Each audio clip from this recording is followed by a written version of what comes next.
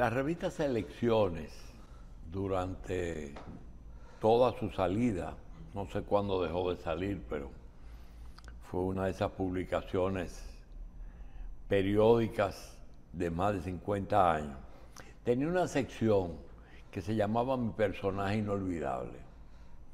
Luego vino una película en el, en el cine americano que se llamaba Mi marciano favorito. Sí.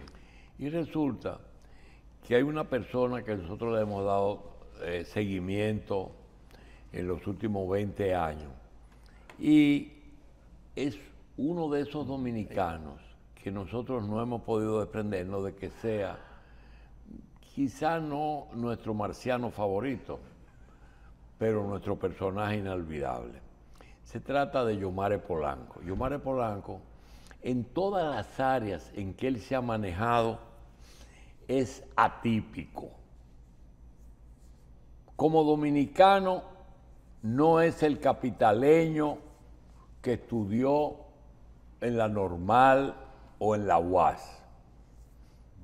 Tuvo el privilegio de hacerse doctor en química en la Unión Soviética.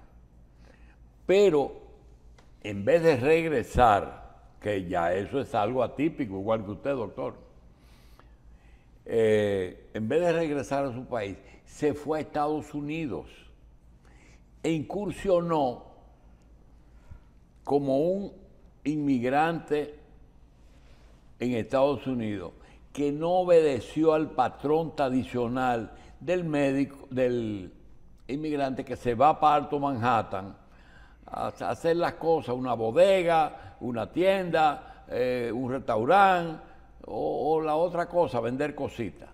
Entonces, tiene un laboratorio farmacéutico de fabricación de marcas, cosa que es extraño y que no es común. Entonces, como dominicano es diferente, como inmigrante es diferente, como estudiante es diferente, pero también como político es diferente. Y si queremos también añadirle cosas, hasta como artista es diferente. ¿Verdad?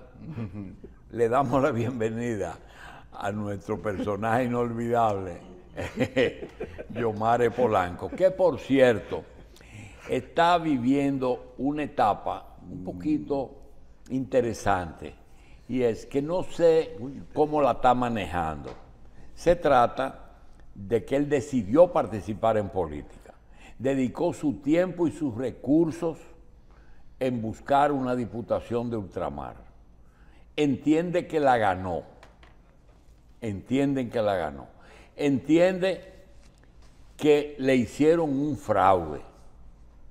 Y lo peor es que el partido que lo lleva en su boleta, él entiende que no le dio el apoyo debido, porque quien gana en contra de él es perteneciente al partido del gobierno. Tiene varias cosas. Primero, que nos explique primero su renuncia y luego qué va a hacer. Me parece que las cosas andan por la fuerza del pueblo. Ade- adelante. Buenos días, don Julito, Cristino, Carlos y a Michael donde esté. Saludos a la audiencia. Bueno, estoy feliz, vine a desearle el mejor de los años al mejor equipo televisivo, eh, que son ustedes, y a toda su audiencia. Vine también a darle las nuevas buenas porque eh, a final de año salió en el portal del Tribunal Constitucional lo que se, sería la sinopsis de un futuro fallo que por fin ya viene por ahí, que estamos esperando por más de 30 meses. Recuérdense que nuestro caso ha estado en todas las instancias de la República Dominicana. El TCE, Tribunal Superior Electoral, nada más para que se recuerden, dictó ganancia de causa, mandó a recontar los boletos y eh, la Junta Electoral de Castaño Guzmán y Gilberto Cruceras, mete un recuento nada más, mandó a quemarlo desacató la orden 793-2020 del TCE y por el contrario mandó a quemar, a robar, a contaminar, a desaparecer, a poner mangas por hombro los votos que había que co- contar, más del 7% de los votantes, eh, casi 6 mil votos fueron triturados, quemados en desacato a una sentencia de un tribunal superior. Bueno, todo eso conllevó, como aquí todavía no ha habido ningún tipo de, respuesta a, a este abuso, a estos crímenes electorales y hasta penales. Fuimos a Estados Unidos. En Estados Unidos tenemos un equipo de, investigadores y un equipo legal eh, dirigido por el doctor Timothy Coleman, eh, un, abogado de renombre allá que hace muchas, eh, ha tenido decenas de casos en la Suprema Corte de, de Estados Unidos, constitucionalista internacional. Entonces, ¿por qué digo todo esto? Cuando yo renuncio del PLD, es porque mis investigadores encuentran que el PLD trabajó como una mafia organizada en contra mía, de mi votante, de la diáspora y del país. Entonces, ¿cómo yo puedo seguir ahí en el PLD? Pasaron dos años desde eh, el 20 de julio de 2020, más de dos años, el 5 de julio, perdón, de 2020, y yo todavía estaba aferrado al PLD, hasta que las evidencias demuestran que ellos fueron los primeros que... Tipifica, tipifica el, proceder del PLD. No hizo lo que tenía que hacer o trabajó en contra tuya, porque no tiene sentido trabajar en contra de su candidato. Bueno, así mismo es. Ellos tendrán que explicarle a una Corte Federal de los Estados Unidos en Pensilvania que precisamente hoy, al mediodía, los abogados del PLD, con los abogados míos, tienen una conferencia con el juez en el circuito oeste de Pensilvania, precisamente para que eh, esclarecer cuáles son los procedimientos de esta litigación legal. Ellos sencillamente no solamente dejaron de actuar a mi favor o, se cimieron, se aislaron de actuar, sino que conspiraron, incluso firmaron para que los votos se quemaran. no se lleve de mí, esas son las investigaciones. Los ¿El PLD está representado en ese caso que se está siguiendo? Ahora, estaba representándome porque la en, en República Dominicana las leyes electorales obligan a que el candidato vaya de la mano del partido. en, este, en todas las instancias de República Dominicana, para yo poder entrar al TCE o para poder demandar en la Junta Electoral, en la anterior o en esta, o en el TCE, Tribunal Constitucional, tengo que ir de la mano del partido pero, allá no, allá ahora lo estamos demandando. El PLD es parte de esta demanda, pero, pero no al lado mío. Sí, pero para que el público entienda. Mira, ahora mismo me llama Tony Balbuena, un periodista de nosotros allá en Nueva York. Le dice que hay un grupo grande de gente escuchando el programa. Y quería decirle algo. Eh, diferencieme el proceso que usted llevó aquí y el que lleva allá. Pero el que llevó aquí, recuérdese que fueron dos juntas diferentes. ¿Y cuáles las actitudes de esas dos juntas?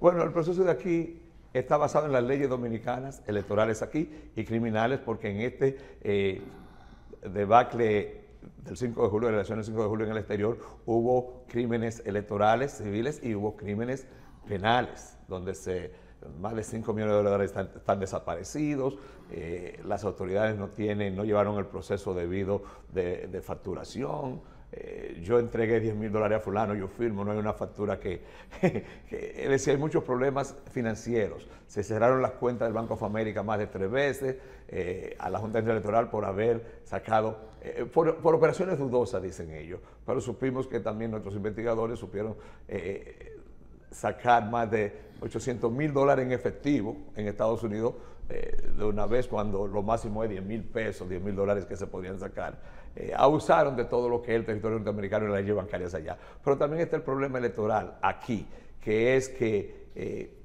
se queman los votos, se desacata una sentencia de un tribunal superior y no hay ninguna consecuencia. Eh, después que se queman todos esos votos, dicen Gilberto Cruz Erasme, el director de voto en el exterior, apoyado por José. Castaño Usman, el conteo se terminó y nada cambió. Oye, ¿por qué la lucha mía? Como que juegan con la inteligencia, la, eh, la dignidad de la persona. Como si tú mandaste a quemar los votos. Más del 7% de los votantes se quedan con los votos desaparecidos, quemados, robados. ¿Cómo tú te atreves a emitir para ayudar a otro partido que todo el reconteo terminó? Han pasado ya, han pasado El reconteo terminó y los resultados no cambiaron. Por eso estamos litigando en la República Dominicana. En la República Dominicana no ha habido nadie todavía que sea que, se ha empantalonado, que ha visto las evidencias como las están ahí, las fotografías, los videos, las actas, los documentos. ¿eh? las noticias, los periodistas como Balbuena, que han cubierto esto desde el primer momento, no lo han visto, se hacen de la vista gorda y todavía aquí no hay una sentencia a favor no de Polanco ni de su gente, sino de la verdad, de la dignidad. Y un gobierno del cambio como de Luis Abinader se, ha, eh, está oscurecido, se está oscureciendo porque permite que le roben al erario, a los fondos públicos, 5 millones de dólares, un gobierno anticorrupción, en sus propias narices, que le roben una diputación a la diáspora en sus propias narices, que beneficia al partido de ellos y también se quedan como que nada ha pasado. he tenido que irme a Estados Unidos para que haya ley allá, porque todos los crímenes, con estos términos, que se cometieron fueron en territorio norteamericano, en territorio norteamericano, no dominicano, por funcionarios dominicanos y políticos dominicanos en contra de ciudadanos norteamericanos. Entonces la legislación está allá, la jurisdicción está allá. ¿Qué tipo de fallo usted espera dos años después de haber ocurrido todo eso? Oh, qué buena pregunta, don Cristino, mi hermano de Rusia. Estudiamos allá juntos. Seguro. Oye, qué inteligente lo hicieron los rusos. Ah. ¿Qué tipo de fallo yo espero? Que la verdad prevalezca, que la justicia esté basada en los hechos y evidencias que ocurrieron. Mira, Lula, Lula, Lula volvió a ser presidente. ¿Y por qué? La verdad floreció. No es porque Lula es más bonito ni más inteligente que los demás. La verdad está a su favor y ahí está Lula de presidente nuevo. La verdad es que va a florecer. Si no los dos años no florece en Estados Unidos. Los dos años no pesan mucho. Para mí no. Pues yo tengo 60 años, Julito, y no me pesan todavía. ¿Me van a pesar No, no, yo me estoy reventando para el proceso. bueno, para el proceso. Pero ¿y por qué desde el primer momento que desacataron la orden de contar, revisar los votos, que lo quemaron, ¿por qué no actuó el TCE de una vez? ¿Y por qué no dijo, si quemaron los votos, hay dudas razonables de más que Polanco ganó? ¿Por qué tenían que quemar los votos? ¿Por qué no lo contaron? ¿Por qué cuando yo pido reconteo eh, eh, en New Jersey, Pensilvania, a decir, ¿por qué lo queman? Esa es la pregunta. Era ahí que había que resolver. Ah, matan a una gente hoy y a los 20 años encuentran el culpable. Y pesa mucho encontrar los culpables a los 20 años. Hay que meterlo preso. El que la hizo la tiene que pagar. Si no, no tiene sentido la democracia. Si la mayoría no va a elegir su representante, ¿de qué sirve la democracia? ¿De qué sirve nuestra constitución? ¿Quién está por encima de nuestras leyes? Esos bandidos del 2020, de, junto, de la Junta Central Electoral del 2020. Ahora tenemos una nueva Junta Central Electoral que mandó a hacer las investigaciones correspondientes debido a la presión que nosotros también hicimos allá. ¿Y sabe qué arrojó? Las investigaciones auditorías de esta Junta Central Electoral, del honorable Román Jaques. Lo mismo que nosotros estamos diciendo.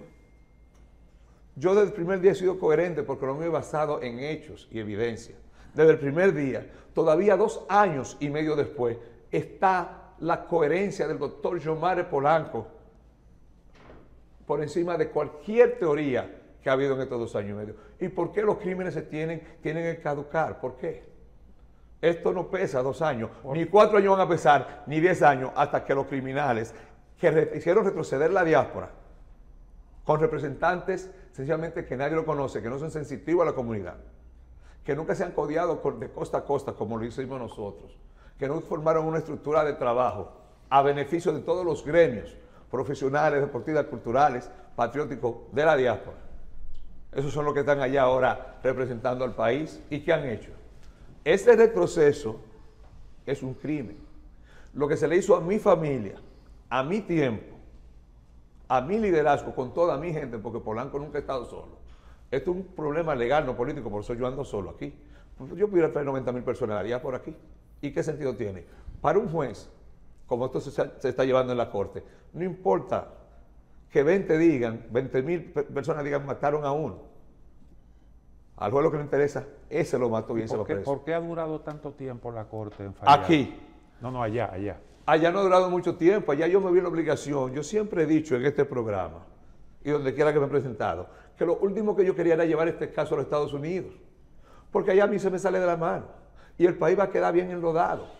El país va a quedar tan enlodado y el gobierno del cambio va a quedar tan enlodado y los políticos van a quedar tan enlodados en Estados Unidos que puede ser que desaparezca la clase política en Estados Unidos dominicana, porque han trabajado como chicos sin ley todo el tiempo, yo lo he dicho. Esto lo tiene ya el gobierno federal. Yo todavía hoy puedo decir al juez paren eso ellos dicen que no, que se van a seguir el caso. Porque aquí hubo un debacle en contra del territorio norteamericano y de dominicanos, ciudadanos norteamericanos allá.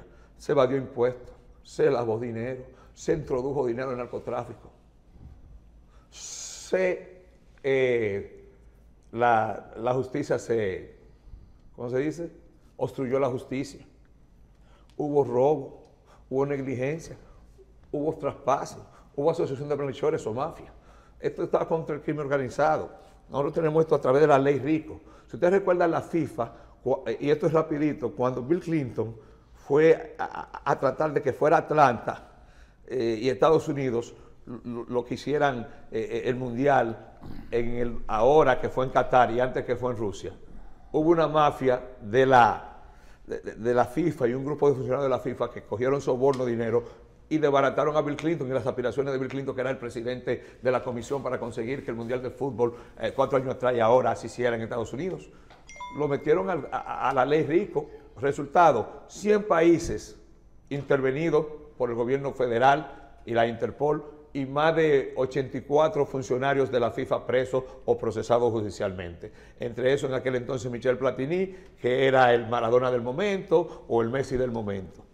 Sí, pero hay... No, es, lo que le estoy diciendo, esto pique y se extiende. Si nosotros sabemos que la justicia americana tarde o temprano actúa. No importa que sea contra un presidente. Tú te acuerdas, Nixon tuvo que salir, pero ese no es el caso. El caso es que posiblemente lo que te hicieron lo hicieron de dos maneras. O por un problema de un grupo local que te quiso hacer daño, o por un partido que no le interesaba que tú fueras eh, su representante. Pero en los dos casos, el hecho de que tú te dediques 100% y que no hay un abogado ahí hablando por ti, eso va a traer como consecuencia un efecto adicional que es que te va a distraer el futuro. Por ejemplo, desde que terminó las elecciones hasta hoy, no se sabe qué va a hacer Yomare, si va a optar otra vez, si se va a inscribir en otro partido, si va a optar otra vez por por, lo que él entiende que debe hacer por la, por la comunidad.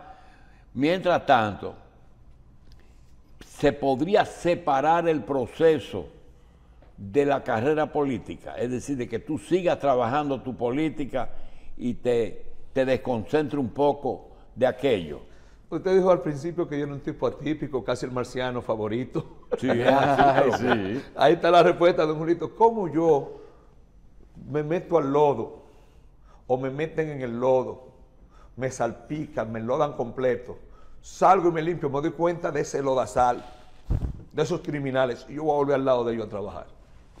¿Y cómo yo permití que Cristino o Carlos o usted... No estoy hablando del PLD. No, Tú no, vas a hacer más política. No va a hacer más. Pero no el PLD nada más. La ley Rico aquí, está en contra de la Junta Central Electoral también. La ley Rico va en contra y, y va en contra de otros políticos. Porque es que es una mafia de malhechores, hubo, una confabulación. Señores, la Junta Electoral, y lo he dicho aquí mil veces, Castaño Guzmán y Berto Cruz Erasmus, fue la primera. Pero no es eso lo que estamos discutiendo. Todo el mundo, todo el mundo, el partido del gobierno, el partido de la oposición, pero hay partidos que no tuvieron que ver con eso. Pero y yo te pregunto, las dos juntas, una se ha quedado callada y la otra. Pregunta, ¿qué vas a hacer en el orden político de ahora? Fuera de que no, no pares, porque a lo mejor lo que quieren ellos es que tú pares, no pares, no pares.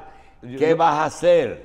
yo soy atípico porque yo aprendí que lo correcto es lo que en realidad trae el progreso, lo que es correcto. Pero va a seguir vendiendo Pepto Bismol. Por toda la vida. No Pepto Bismol nada más, Pepto Bismol, Milanta, eh, Benadryl, Tylenol, todo tipo de acetaminofén en líquido, todo eso, es de eso que yo vivo. Producido, vendido y distribuido. En Estados Unidos y 15 países de Latinoamérica y dos de Europa. Eso no lo puedo dejar. Pero a Dios la gracia que me dio la capacidad de tener gente buena allá trabajando. Mira donde yo estoy, allá se está trabajando, hoy, hoy se regresa del trabajo. ¿Sabe qué es lo que pasa? Como yo veo que hay un crimen, hay criminales actuando y doy la espalda y me voy? Yo sería mucho, muy cobarde si yo dejo esto así. Este sistema hay que arreglarlo. ¿Y quién ha pensado que tú debes dar la espalda? Nadie ha pensado Pero ¿y cómo yo entonces apoyo una eh, nuevas elecciones, me voy a una nueva eh, postulación cuando el problema todavía está ahí adentro? El problema es un problema eh, político, de la clase política, que ha vivido en Estados Unidos como chivo sin ley. ¿Sabe por qué a mí se me hizo todo eso? Me abusó mi partido, PLD. Me abusó la Junta Central Electoral. Y me abusaron otros partidos que también van, van para la Corte. Que no he querido tirármelo en contra, además, pero que tenemos prueba además que hubo una confabulación entre todos ellos. Y, yo lo voy a permitir. Yo otra vez voy a meter, tratando esa gente activa ahí, a meterme otra vez entre los ratones, entre los escorpiones entre las ratas. Pues yo sería muy estúpido. Yo gané. Hay una. Yo gané y punto. Que me devuelvan lo que yo gané. Que reivindiquen la diáspora y que arreglen el sistema. Entonces Polanco y su liderazgo se incorpora de nuevo. Hay una, si no, allá no va a haber elecciones. Una, hay una, una premisa que dice, cuando hay un crimen, lo primero que se averigua es quién es el beneficiario. ¿Quién se beneficia? ¿Y quién se... Te perjudicaste tú. Se benefició el que te ganó. ¿Sí o no? O al que impusieron. El que te ganó. nadie me ganó, al que impusieron. Al, al, que está en el lugar que aspiraron. No ganó al que lo. Ok. Entonces, además del que perdió es. El, perdón, al que le hicieron el fraude. Eh, fue el perjudicado y el que hizo el fraude fue el que ganó. ¿O tú no quieres problema con el gobierno? La ley, la ley rico se creó en Estados Unidos para que los mafiosos como Al Capone, como los Gambinos, como los Gotti, como los segovianos, pudieran caer presos en sus altas esferas. Al Capone extorsionó, Al Capone mandó a matar, Al Capone eh, eh, defraudó a todo y nunca lo pudieron meter preso por criminal, porque siempre mandaba a otra gente. Cayó preso por impuesto.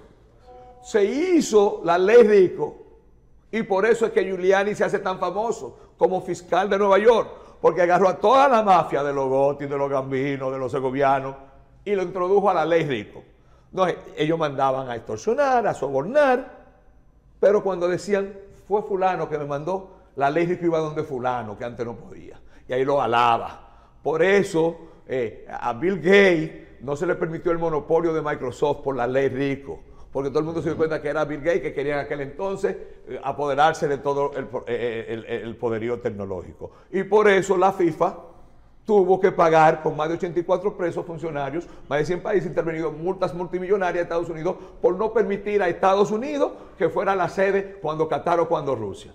La ley rico va a llegar hasta República Dominicana, se tiene que llegar, hasta la cabecilla donde tiene que llegar. Y todos estos jueces o todos estos políticos de acá, de República Dominicana, y de allá de Estados Unidos, que no se alinearon con lo correcto, en el caso de Polanco, que fueron a delinquir a Estados Unidos en contra de ciudadanos norteamericanos, que abusaron del privilegio de la democracia de los dominicanos en el exterior, y todo aquello que lo están desde aquí hoy día, en las cortes superiores de acá, o en las cortes inferiores, o los funcionarios políticos que han estado detrás de toda esta vagabundería de estos crímenes, van a tener que responder allá. Yo estoy seguro de que ese pleito en Estados Unidos se va a ganar por dos razones.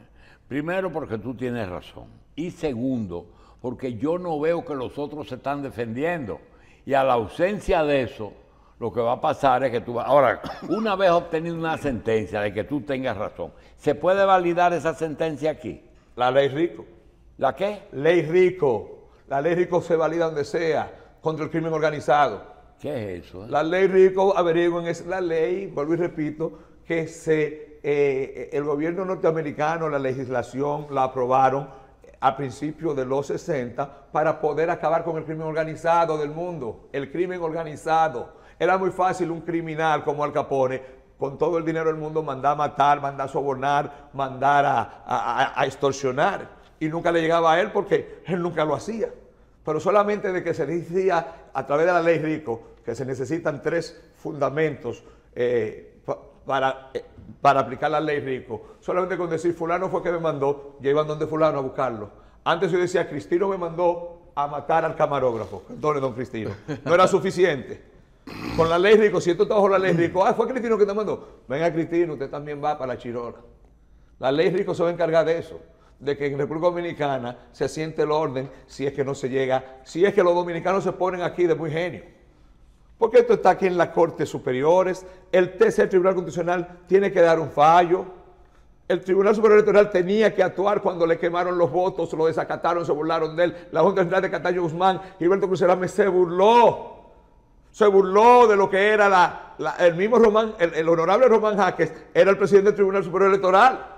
Se burlaron de él porque él mandó, ese tribunal mandó a contar los votos y lo que hicieron que se lo quemaron, se burlaron de él, enfrente de él, se lo tiraron en la cara. ¿Y ustedes creen que eso se va a quedar así? Jugando con la dignidad de, de- de millones de dominicanos de la diáspora. La ley rico la pueden googlear o googlear, como se dice aquí. Se darán cuenta que son mafiosos que están dirigiendo ese tipo de organización o de eventos, que lo hacen por prebendas personales, beneficios personales y obligatoriamente tienen que sacar del medio a quien no le conviene. En algún A mí fue que me sacaron del medio porque no me caso- convenía. En algún caso, tú has contemplado la posibilidad de que se restaure la razón y la justicia y que tú seas, por lo que resta del tiempo, el diputado de ultramar, que te repongan el daño. pero no a Polanco, a esa comunidad y a mi gente que trabajaron desde el día número uno por décadas, por décadas, para que Polanco fuera el líder. Todos los años, usted no ve que me dan el, líder número uno de Estados Unidos y soy yo que lo pago, me lo gano. Son ellos que me aprecian, los periodistas, los jefes de los gremios, los salones de belleza, los dueños de supermercados. ¿Y por qué ellos logran y hacen? ¿Por qué ellos siempre me dan la distinción del dominicano del año y no es jactancia? Es por el trabajo hecho. No, es- no es a Polanco. Es al que se va a encargar que la Federal Administration tenga aquí todos sus análisis para cuando lleguen los aguacates allá, los mangos allá de aquí, cuando lleguen de aquí eh, los, las yucas de allá, de una vez se ha distribuido a través de más de 600 supermercados dueños de dominicanos en el área triestatal. Es Polanco que quiere que los envejecientes de allá puedan venir aquí, porque ningún envejeciente allá quiere estar metido en un cuarto con la familia, quiere venir a morir con dignidad aquí y le dan allá su SSI o le dan su pensión, que es suficiente aquí para vivir. Le dan su Medicare, que es suficiente aquí para cualquier cuidado médico. Pero se necesita esa voluntad de entender que nuestro envejeciente quiere venir para acá. Nuestros profesionales, nuestros estudiantes, de allá vienen estudiantes, de allá vienen estudiantes pagados, extranjeros, puertorriqueños, afroamericanos, estudian en las universidades de aquí. Y de aquí van muchísimos estudiantes becados a diferentes países. ¿Y por qué los muchachos de nosotros ya no pueden conseguir becas para venir aquí a estudiar? Porque no hay voluntad. Y las remesas. ¿Sabe la remesa, el dinero que da la remesa? Los beneficios que dan. Y hay un grupo de dinero escondido por ahí en el cambio de dólares que te lo ponen a como le da la gana. Y la diáspora no recibe ni un centavo para su mejoramiento. Y entonces la gente pobre que es dominicana allá. ¿Sabe la gente que se muere allá que no tiene quien lo mande para acá? Usted sabe la coleta que a diario no tiene que participar.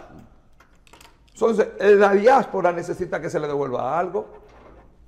La diáspora está enferma, eh, eh, eh, huérfana, perdón. Y esa diáspora huérfana tiene, un, tiene gente como Polanco, no Polanco solo, que quieren lo mejor para ella. Ah, pero el poder la troncha. ¿Y por qué el poder la troncha? Por inescrupulosos, porque tienen instintos criminales, porque están acostumbrados a trabajar como chivos sin ley. No, el desorden que hay en República Dominicana, políticos, funcionarios, si ustedes lo arman aquí, no vamos a dejar que lo lleven para allá, porque no tiene sentido. Nosotros, yo salí de aquí, yo me deporté de aquí, Cristino. Yo trabajo aquí, siempre lo he dicho, en Fongamundi como gente de producción, en proteínas nacionales, haciendo alimentos para los animales.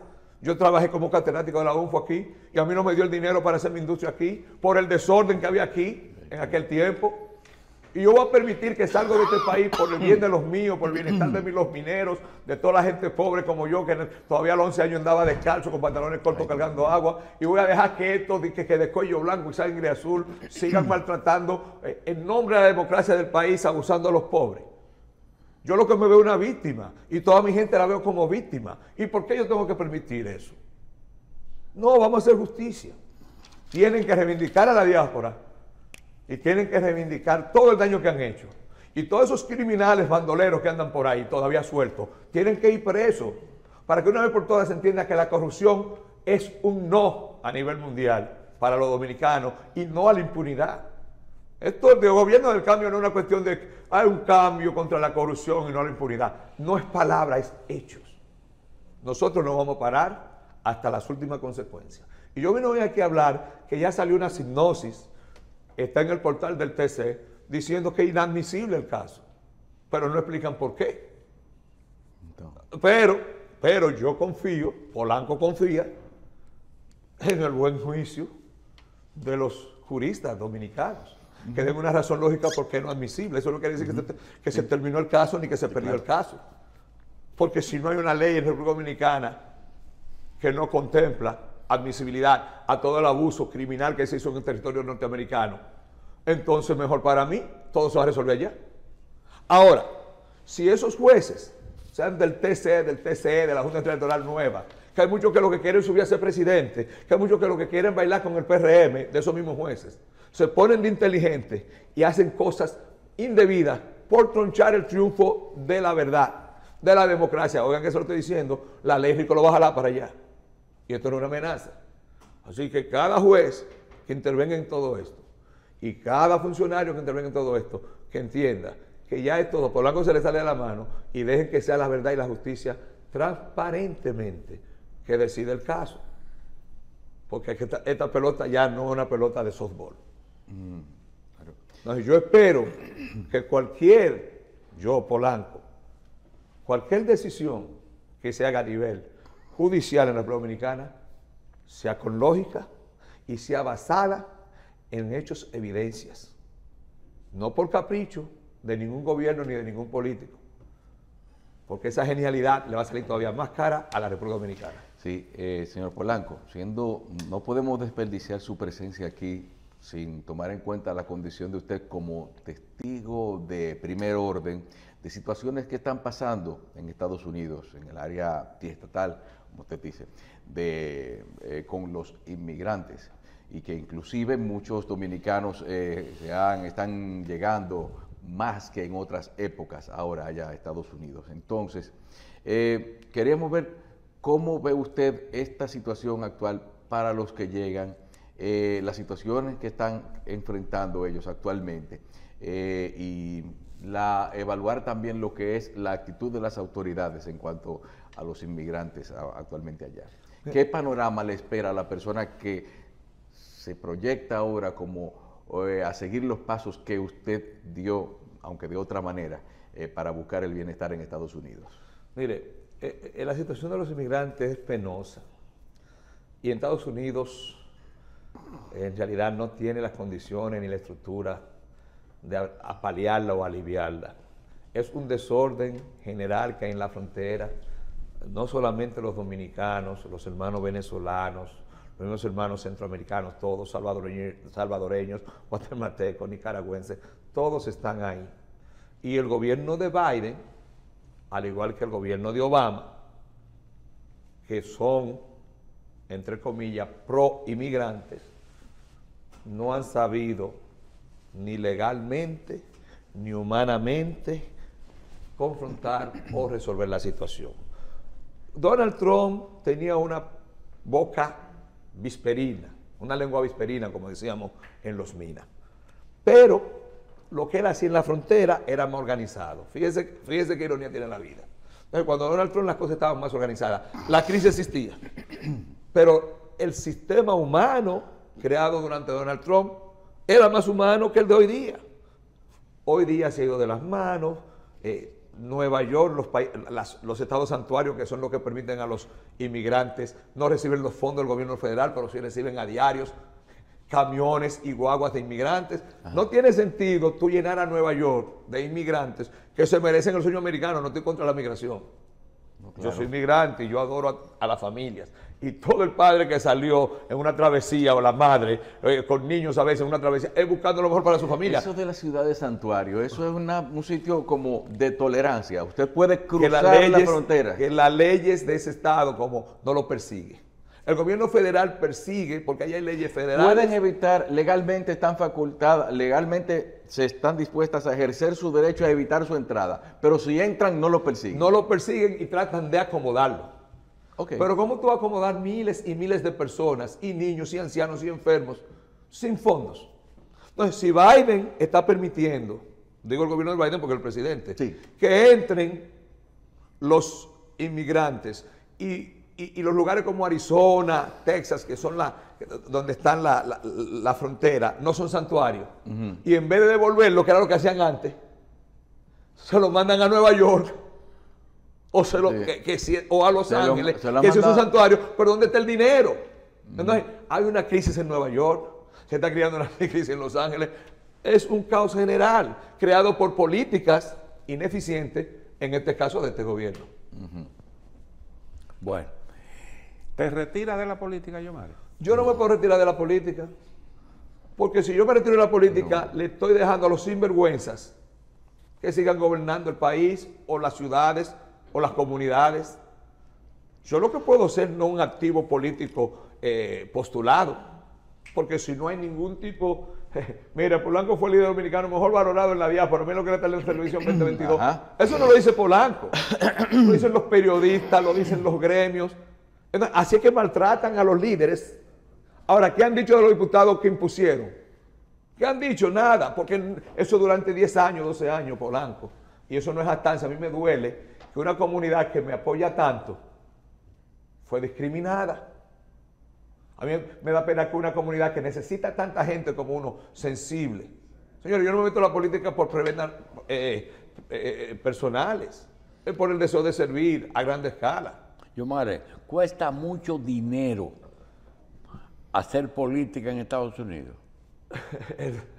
La riqueza del mundo. Mucho. Claro, allá no se juega, allá es dólares.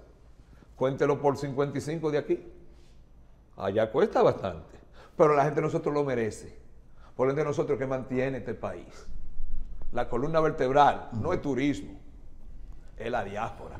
Y el mejor activo que tiene la República Dominicana, quieranlo o no, entender, son esos muchachos como mis hijos, como los hijos de los que están allá, que han crecido en buena ley, que han estudiado allá, que tienen un sueldo de 300 mil dólares al año, 200 mil dólares al año, que están trabajando de su casa, pudieran venir a, venir a hacer la Ya diferencia. tú te hiciste país. americano. ¿Eh? Te hiciste americano. Yo me hice americano desde Clinton me hizo americano a mí. ¿Cómo? Desde el 1993 yo soy americano. Porque el que está allá tiene que ser americano. puedes ser representante allá. Yo puedo ser, Lo yo fui, allá- lo que es para allá. bueno, yo puedo ser representante de lo que es para allá. Yo fui, no como es para allá, pero a mí por seis años, del 2000 a 2012, cada dos años me elegía el distrito 12, pues entiendan esto, de eh, el condado de Middlesex para el condado. Yo fui elegido por el pueblo seis veces consecutivos por los anglosajones de- de Central Jersey. So, yo estuve en la política norteamericana para ayudar precisamente a los niños bilingües y a la gente eh, mía allá y después hice el crossover a la política dominicana, pensando que yo soy dominicano y que la línea única que yo quiero ir es ayudar a la gente aquí en República ¿En qué, Dominicana. ¿En qué año llegaste a Estados Unidos? 1989. Dice que tú tienes 30 años en Estados Unidos. 33. 33. Felizmente. ¿Te identificas más con los demócratas? o con los Siempre fui demócrata. Era loco con Bill Clinton hasta que se meten en Haití y hace lo que hicieron. Entonces después estuve eh, contra Donald Trump al principio, después me di cuenta que el hombre lo que hablaba no era sencillamente lo que pensaba y hacía. Me di ¿Tú cuenta crees que, que Donald Trump- puede volver? bueno, está supuesto a volver, pero yo no soy Dios para adivinarlo. Ahora, No, yo no te digo que ahora le voy a decir por qué está supuesto a volver. El liderazgo demócrata no se sabe cuál es. Porque aunque CNN y todas las han, han dicho que Biden ha subido, que estaba en un 39 ya está en un 50 y pico, yo no lo creo. Porque allá la Y este que hambruna- está en Florida no puede vender. ese, el hijo, ese fue hijo de Trump una vez. Ahora se va en contra de Trump para que sea él. Déjame explicarle qué pasó con Trump. Trump se echó enemigo a la gente de McCain. Trump se echó enemigo a la, jef- a la gente de Bush, gente poderosa en el Partido eh, Republicano.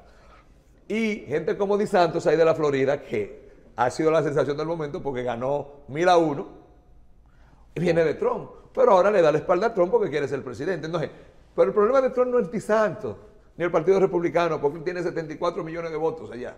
74 millones de votos sacó Trump y perdió. Son muchos votos. Ningún antes de, Bill- de- de Biden, ningún presidente había ganado, ganado con esa cantidad de votos.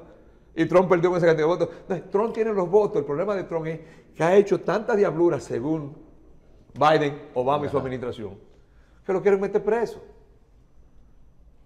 Va- él está confrontando problemas financieros, es decir, crímenes o sus organizaciones de evasión de Ahí le impuestos. sacaron que en un año no pagó nada de impuestos Exacto, eh, eh, el, el- el ra- rayo, ¿cómo se dice? Lo que pasó el 6 de enero, de- eh, el asalto al Capitolio, le están tratando de que fue el que lo motivó, todos esos son crímenes. Entonces, a él están hace tiempo por sacarlo del juego Biden legalmente. Ahora, buen- si no lo sacan legalmente, con esto termino, Biden es un buen gobierno. Biden ha sido lo peor. Yo soy demócrata, pero Biden ha sido lo peor. Como un, un presidente que en el mundo entero tiene al mundo pasando hambre, tiene una carestía, una inflación increíble, tiene una crisis energética increíble. De Pero hay empleomanía plena ya. Eso es mentira. Allá no hay empleomanía plena. Allá la gente lo que no quiere trabajar por los incentivos que le da el gobierno, que esa tampoco es la manera. Allá no hay empleomanía plena. Allá lo que hay es un desastre. Mire, nunca en Estados Unidos se había visto, señores, no estoy contra los demócratas. Usted me está preguntando y yo no sé hablar mentira. Allá lo que se había visto es escasez de la leche de niños en el país más grande del mundo. Los niños no leche. Señores, a nosotros nos metieron una orden de 4 millones de Robitussin, 4 millones de Mucinés, porque en Estados Unidos no hay antigripales para la influenza o la gripa que anda ahora. ¿Cuándo se había visto eso en Estados Unidos? Y así te, te- se está dando cuenta que les- la economía y los procedimientos están descalabrados. Con esos dos ejemplos que le doy. ¿Y quién es el culpable de eso? Soy yo. ¿Es usted? El culpable de eso es el gobierno. No, pero Allá la inflación está a 200%, no hay control. Y el pobre, le aumentan el salario ahora a partir de esta semana. El salario mínimo en New Jersey es 14 dólares con 13 centavos. En Nueva York hace tiempo es 15 dólares. Pero si tú te pones a ver en 1973, que era menos de 3 dólares el salario mínimo, si tú ves la inflación, cómo fue aumentando hasta el día de hoy, deberíamos de estar ganando 22 dólares mínimo la hora. Sin embargo, estamos en 15 y en 14. ¿Qué quiere decir el país? Va para la pobreza, para atrás que va. ¿Quién es culpable de eso? ¿El gobierno de turno? Carestía, crisis energética, crisis alimenticia y crisis médica. ¿Y un buen gobierno entonces? Estar claros, son cosas básicas que hay que resolver. Eso le toca a los presidentes. Así que Biden para mí eh, está haciendo muy mal. Vamos a ver qué pasa ahora. Porque la pregunta de, de Cristino está ahí. ¿Vas a dejar la política? No. Pero no vas a postularte. Eso es lo No me yo- pienso postular. ¿Eh? ¿Pero para qué? Si no se arreglan, si no se corrigen y se le ponen regulaciones a esos chivos sin ley, tanto los funcionarios que mandan exportados de aquí para allá, como los políticos de allá, que se alimentan y se capitalizan de las elecciones y defienden lo mal hecho. Bien. Si eso no se corrige, no vale la pena, señores. Pero Bien. usted sabe, se va a meter al lodo sabiendo que se va a enlodar.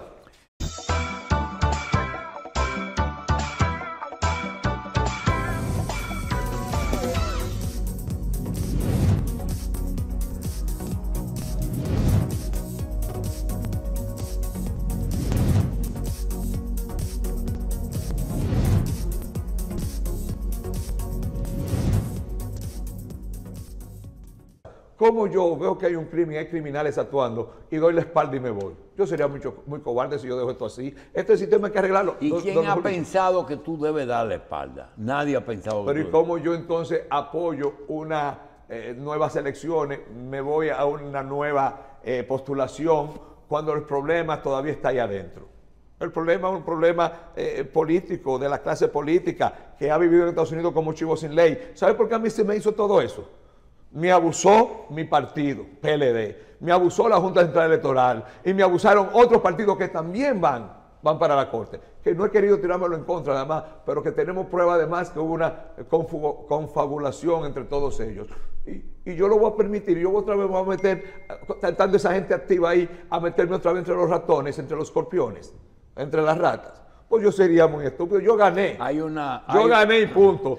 Que me devuelvan lo que yo gané. Ok. Que reivindiquen la diáspora y que arreglen el sistema. Entonces Polanco y su liderazgo se incorpora de nuevo. Hay una- Si no, allá no va a haber elecciones.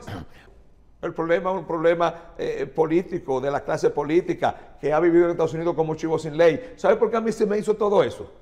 Me abusó mi partido, PLD. Me abusó la Junta Central Electoral. Y me abusaron otros partidos que también van, van para la Corte. Que no he querido tirármelo en contra, además, pero que tenemos prueba además que hubo una eh, confabulación entre todos ellos.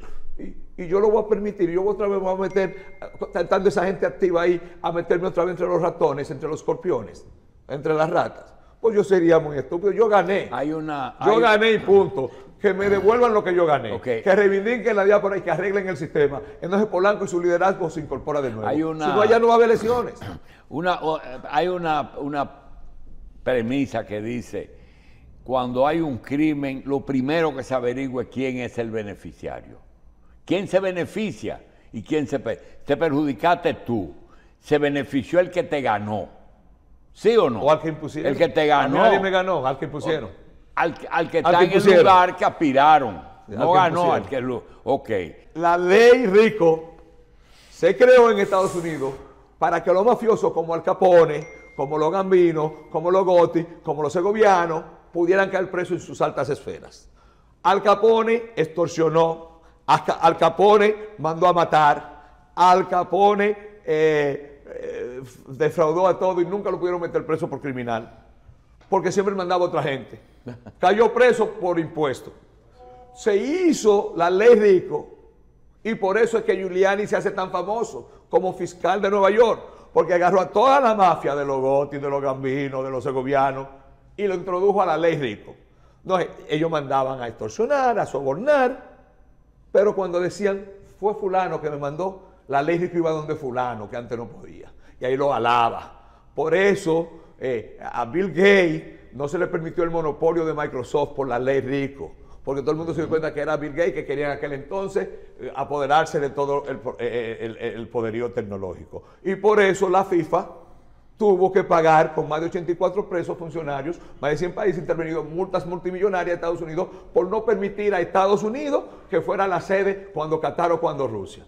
La ley rico va a llegar hasta República Dominicana, se tiene que llegar, hasta la cabecilla donde tiene que llegar. Y todos estos jueces o todos estos políticos de acá, de República Dominicana, y de allá de Estados Unidos, que no se alinearon con lo correcto, en el caso de Polanco, que fueron a delinquir a Estados Unidos en contra de ciudadanos norteamericanos, que abusaron del privilegio de la democracia de los dominicanos en el exterior, y todo aquello que lo están desde aquí hoy día, en las cortes superiores de acá, o en las cortes inferiores, o los funcionarios políticos que han estado detrás de toda esta vagabundería de estos crímenes, van a tener que responder allá. Yo estoy seguro de que ese pleito en Estados Unidos se va a ganar por dos razones. Una vez obtenido una sentencia de que tú tengas razón, ¿se puede validar esa sentencia aquí?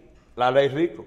¿La qué? Ley rico. La ley rico se valida donde sea contra el crimen organizado. ¿Qué es eso? eh? La ley rico, averigüen, es la ley, vuelvo y repito, que se, eh, el gobierno norteamericano, la legislación la aprobaron a principios de los 60 para poder acabar con el crimen organizado del mundo. El crimen organizado. Era muy fácil un criminal como Al Capone, con todo el dinero del mundo, mandar a matar, mandar a sobornar, mandar a, extorsionar. Y nunca le llegaba a él porque él nunca lo hacía. Pero solamente de que se decía a través de la ley rico que se necesitan tres fundamentos eh, pa- para, eh, para aplicar la ley rico. Solamente con decir fulano fue que me mandó, ya iban donde fulano a buscarlo. Antes yo decía, Cristino me mandó a matar al camarógrafo. Perdone, don Cristino. No era suficiente. Con la ley rico, si esto está bajo la ley rico, ah, fue Cristino que te mandó. Venga, Cristino, usted también va para la chirola. La ley rico se va a encargar de eso, de que en República Dominicana se asiente el orden si es que no se llega, si es que los dominicanos se ponen aquí de muy genio. Porque esto está aquí en las Cortes Superiores, el tercer Tribunal Constitucional tiene que dar un fallo, el Tribunal Superior Electoral tenía que actuar cuando le quemaron los votos, lo desacataron, se burlaron de él, la Junta Central de Cataño Guzmán, Gilberto Cruzerame se burló, se burló de lo que era la- el mismo Román, el, el honorable Román Jaques, era el presidente del Tribunal Superior Electoral. Se burlaron de él porque él mandó, ese tribunal mandó a contar los votos y lo que hicieron que se los quemaron, se burlaron de él, enfrente de él, se lo tiraron en la cara. ¿Y ustedes creen que eso se va a quedar así? Jugando con la dignidad de, de- de millones de dominicanos de la diáspora. La ley rico la pueden googlear o googlear, como se dice aquí se darán cuenta que son mafiosos que están dirigiendo ese tipo de organización o de eventos, que lo hacen por prebendas personales, beneficios personales y obligatoriamente tienen que sacar del medio a quien no le conviene. En algún A mí fue que me caso, sacaron del medio porque no le caso, convenía.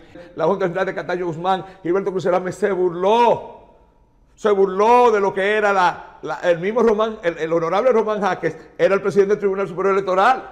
Se burlaron de él porque él mandó, ese tribunal mandó a contar los votos y lo que hicieron que se lo quemaron, se burlaron de él, enfrente de él, se lo tiraron en la cara.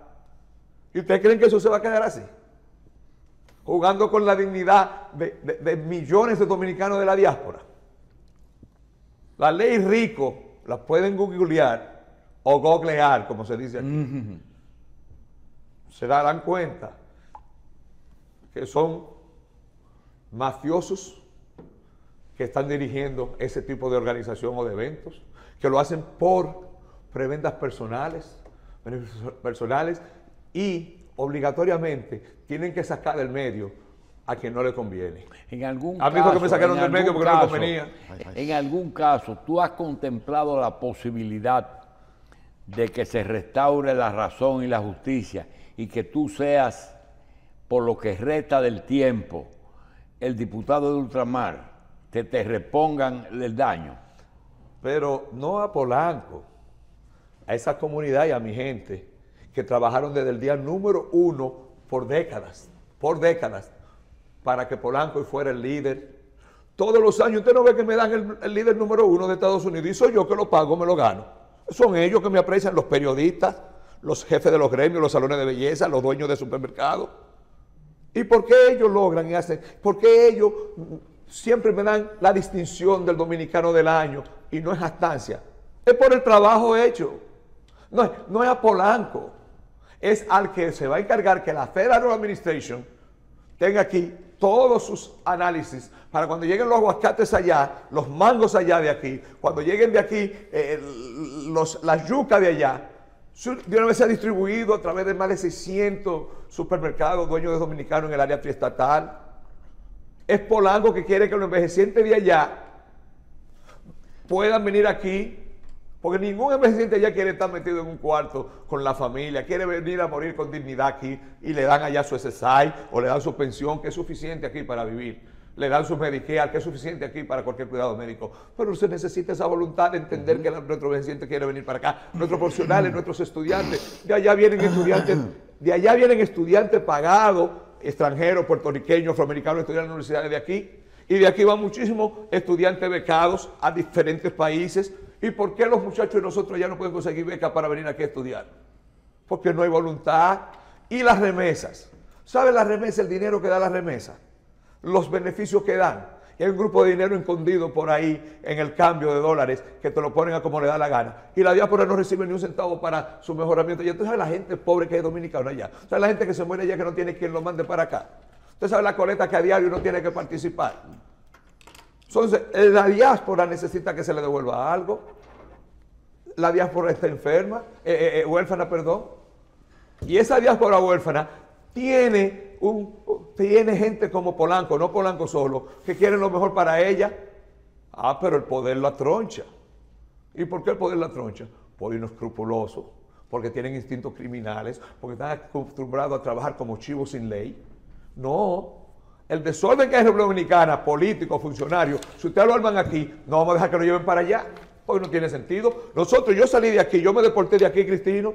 Yo trabajo aquí, siempre lo he dicho, en Fongamundi como agente de producción, en Proteínas Nacionales, haciendo alimentos para los animales. Yo trabajé como catedrático de la UNFO aquí y a mí no me dio el dinero para hacer mi industria aquí por el desorden que había aquí en aquel tiempo.